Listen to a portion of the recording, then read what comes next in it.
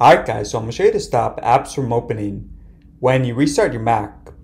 Now, there's two ways to do it, and one of the solutions should work for you.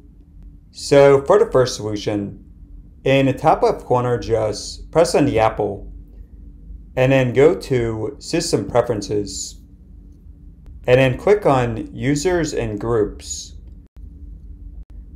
Okay, so towards the top, you see we have Password, and to the right of that is login items.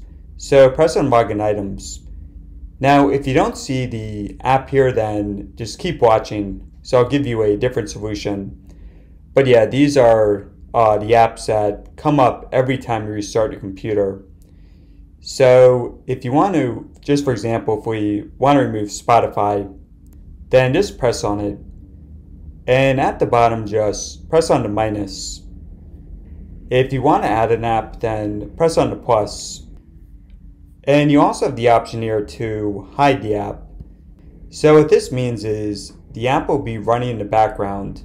So you're not going to see it, but it will be running in the background. Okay, so again, if this solution did not work, then once again, in the top left corner, press on the Apple.